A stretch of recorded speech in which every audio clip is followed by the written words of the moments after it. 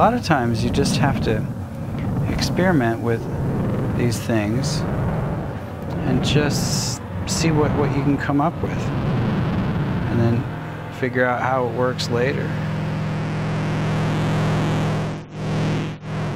My name is Justin Melland, and I'm a film composer. We're in uh, Los Angeles in the Eagle Rock neighborhood, and we are in my film composing studio.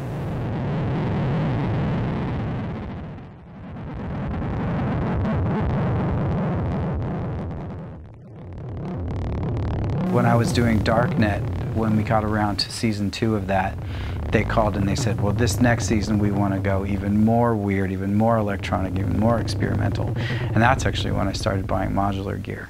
Once they said that, I'm like, wow, okay, now I need to go shopping. The Buchla type sound is my favorite. And so I uh, eventually got this oscillator, which is the, um, it's a clone of a 259R. And th this thing sounds amazing. And, um, you know, and I like Verbos's riff on it, so this is another complex oscillator that I have. And then even a, a music easel, which is kind of a sweeter, more musical version of this sound. Um, and it's also really, really fast for getting it up if you want to listen to, so if you want to start working with it right away. Um, I mean, this is, this should be, yeah, it's just going.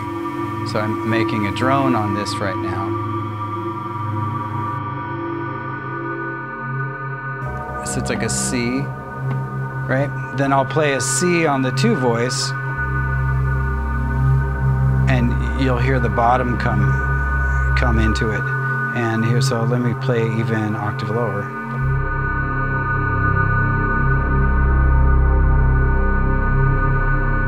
And then when I record this, I will be, you know, riding the the levels of it and and riding the amount of modulation so that it feels like it's breathing.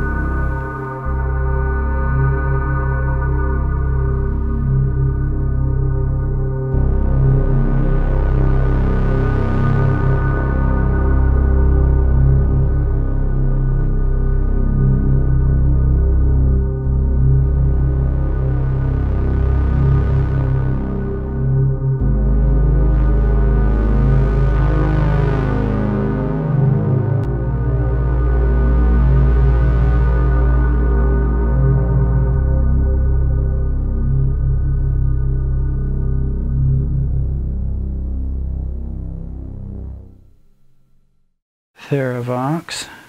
We'll put it through a giant reverb and then see what we can do.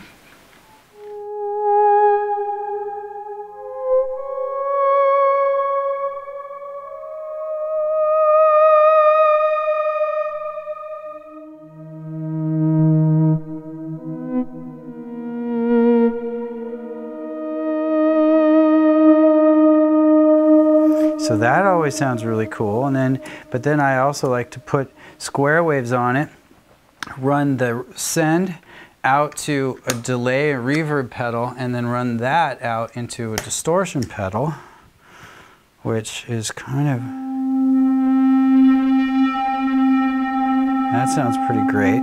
And one cool thing that happens when I do that is if you play a single note, you just get a little, little hair on it. And then if you play two notes though, the distortion circuit starts to overload. So here's one note. And you get this really cool kind of distortion. Depending on what kind of pedal you're using, that'll be different.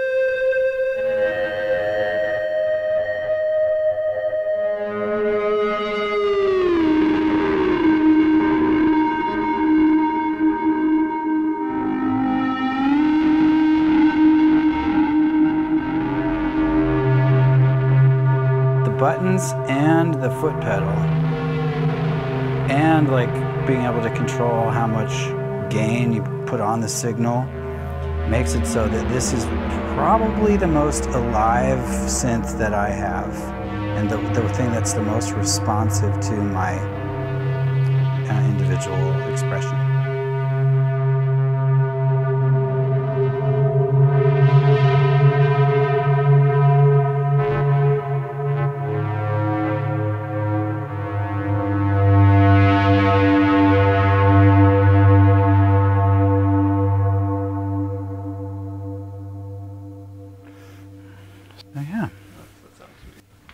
Sound okay? Yeah. You approve? this is the Crumar Orchestrator, which is a 70s um, synthesizer. I have a volume pedal so I can swell up because it doesn't have an envelope on the string sound, so you have to use your foot.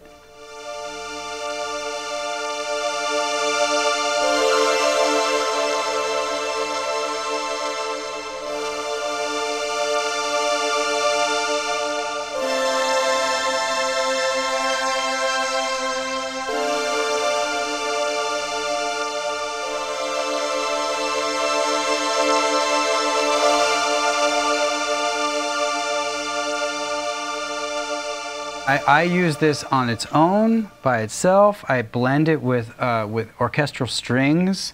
Uh, it, it's actually it's really useful in so many ways. There's even, I think if we can get the brass sound up on it, the brass has has a Moog filter.